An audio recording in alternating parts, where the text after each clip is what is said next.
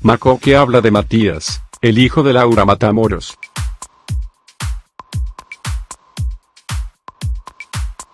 Macoque está encantada con la llegada del hijo de Laura Matamoros, pues parece que el pequeño ha llegado para apaciguar las aguas en el clan Matamoros. De hecho, a pesar de que nunca ha mantenido una relación cordial con la ganadora de Gran Hermano VIP4, la mujer de Kiko Matamoros ha visitado junto a su marido a Laura en la clínica. Y allí, como no podía ser de otra manera, ha conocido al pequeño Matías que vino al mundo el pasado miércoles.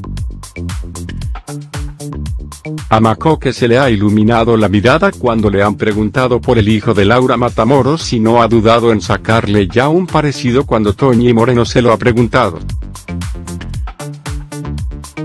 Es ideal, pues como es un bebé.